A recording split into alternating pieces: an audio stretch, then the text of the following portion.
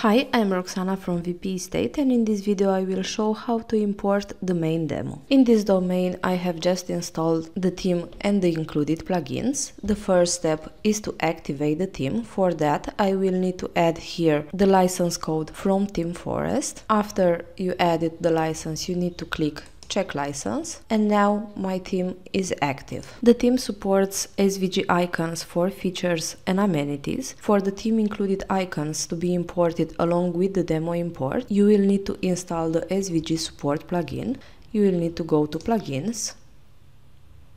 I have the plugin already installed. I will activate it and set it to apply only from admin. Now I can proceed with the main demo import. So I will go to theme options, import demo. This is the main demo. I will click import demo, continue and import. The import process might take a few minutes. The demo was imported successfully and now I will show the steps that you need to take after the demo import. First I will show the steps that you need to take in Theme options. So I will go to WpResidence options. I will first go to search advanced search form, the search type 6 will be selected and in this case you might have missing tabs as on import the categories will have different IDs. The next step is to select the categories that will show as tabs. I will save the change and refresh the page. Now I will add the price for the price slider for each category. And I will save the change. These settings will apply for the theme search form. Next, I will go to map section. Here you will be able to decide on the map system that you want to use.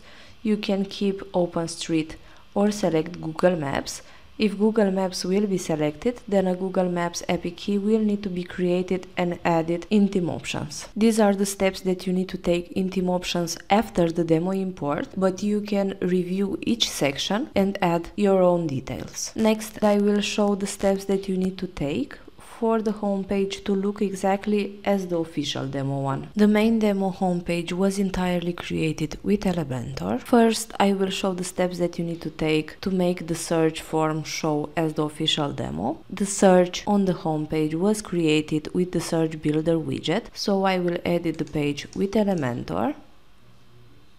The categories for the tabs will not be selected as on import the categories will have different IDs so you can see that the tabs are enabled.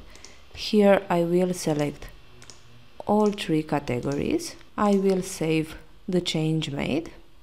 I will refresh the page.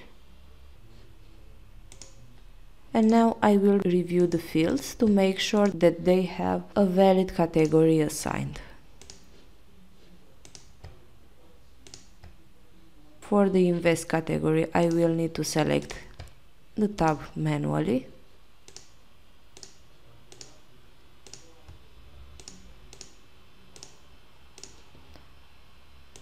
I will save the changes made. Going back to the home page, you will see now that the search form is showing correctly. Next on the page, you will have this section and this one. The two sections are created with widgets that will display property categories. The categories will need to be reviewed in the home page and for each category used in the widget you will need to manually upload images. So I will go back to the page editor. I will select this section. You will see that here you have categories imported from the demo. You can remove any category that you do not wish to show and add new ones. I will check the other section as well. Here the categories have not been imported, so I will need to select them manually. I will select random categories just to show how to work with this widget.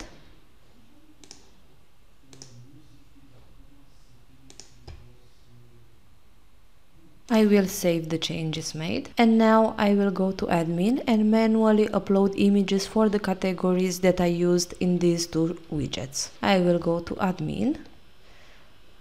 Under properties you will find all property categories, categories, types, city, neighborhood, county, state, features and amenities and property status. I will start with categories. To upload an image for a category you will need to edit category press upload image button and select an image from your device.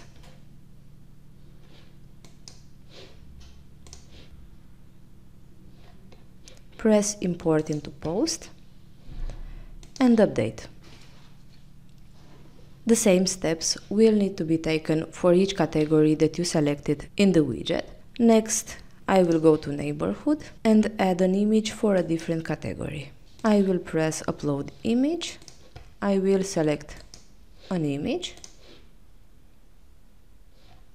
I will press insert into post and press update. Since the steps are exactly the same, I will add the rest of the images of the record and after I will show the results.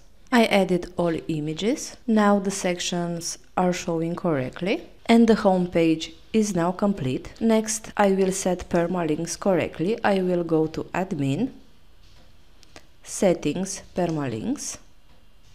I will set them to post name and save changes. These are the steps that you need to take after the demo import and next in this video I will show how to edit some demo sections. I will start with homepage. Here you will have the homepage header that was created with Elementor. I will show how to change the background image. I will go to the Elementor editor. I will enable navigation so I can access the sections easier. I will click the first section and in style you will be able to remove the image and upload your own. I will go back to homepage and next I will show how to edit the content from the tabs section. This is the section. Each tab was created with a separate template. In order to edit the tab content, you will need to edit the template that was used for each tab. First, I will go to the homepage editor. I will scroll down to find the tabs widget. This is the one. Here you will see the name of each template used. For the second section we use tab content 2 and for the third we use tab content 4. You can edit each template directly from the home page. Here, when you hover over Edit with Elementor, you will have these sections and will have fast access to each template. Here you will be able to edit the tab content. You will be able to edit the text, change image and add other details. You can also edit the templates by going to admin, Elementor templates and here you will find all templates imported along with the demo, including the tabs ones. You will need to click edit with Elementor and you will be able to change the content. This wraps our video, thank you for watching and do not forget to subscribe to our YouTube channel to get instant notifications on new videos.